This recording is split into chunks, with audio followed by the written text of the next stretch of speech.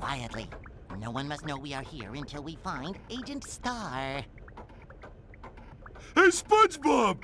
Don't tell anyone, but Sandy made me a secret agent!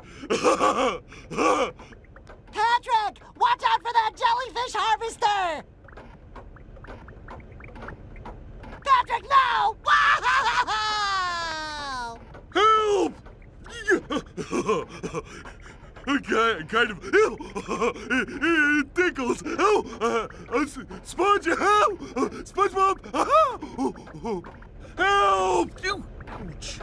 Sponge, ouch! Uh, Sponge, ouch! Just SpongeBob!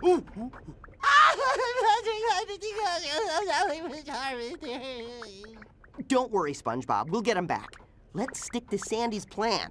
We'll take out these jellyfish harvesters and then enter Plankton's fortress. We'll find Patrick there.